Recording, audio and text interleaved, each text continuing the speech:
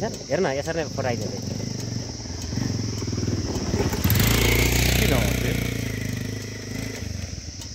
गाउँको नाम यो लफ्याङ। यस्तो रहर लाग्दो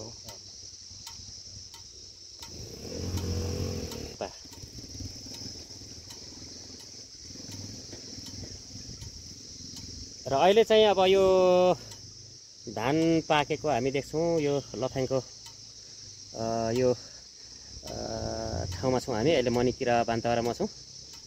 र यो मणि सर केही भन्नु छ? हामी घरबाट दिक्क जा कहाँ पुग्नु पर्ने? म अहिले कहाँ? हजुर।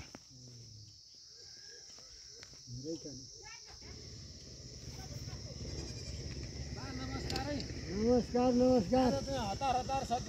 जहिले पनि यस्तै हतार।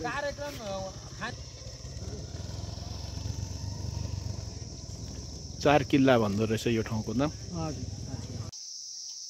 तिप्रुङ चिचुम्बा गाउँपालिका भित्र पर्छ। यो धान बाली यस्तो रमाइलो फलेको छ अहिले धान।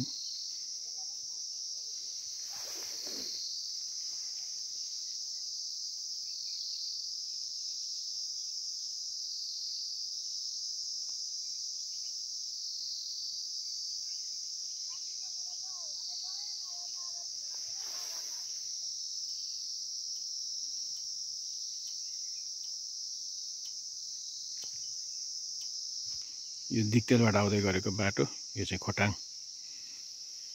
हिँडेको खोटाङतिर जाँदै गरेको यो बाटो।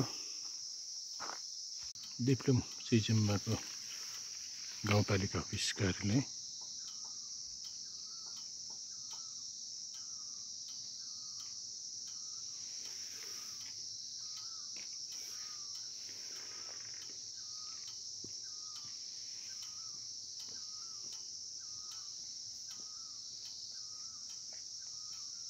धान पाकेर पहेँलै छ गाउँ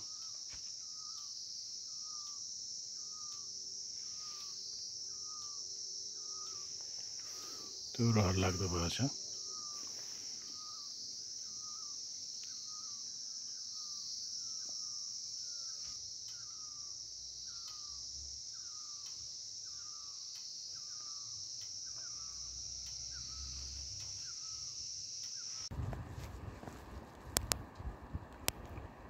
सागा खोलाको खेत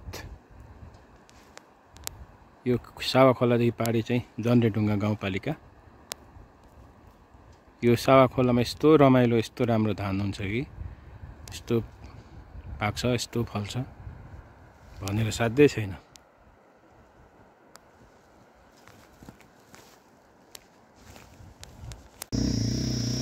यो चाहिँ खोटेहाङ गाउँपालिका। यो देखेको यो कात्तिके। यस्तो धान पाकेर अहिले यस्तो रमाइलो गाउँ भएको छ। निकै खेती हुने रहेछ यो ठाउँमा। यो माथि इन्द्रेणी पोखरी माथि देखेको खोटेहाङको गाउँपालिका यिनी छ। यस्तो अहिले रमाइलो छ। धान पाकेर पहेँलै